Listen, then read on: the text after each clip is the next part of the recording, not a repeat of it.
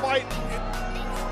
Oh, dangerous cut now. And so Brandon, Brandon Maisonet will be your winner by TKO.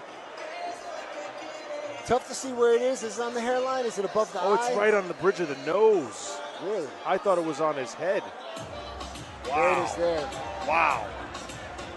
Not sure. I thought it was on his head.